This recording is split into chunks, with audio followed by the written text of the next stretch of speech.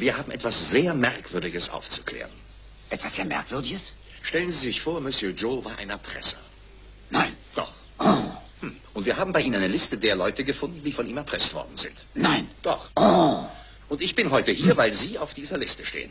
ich? Sie. Nein. Doch.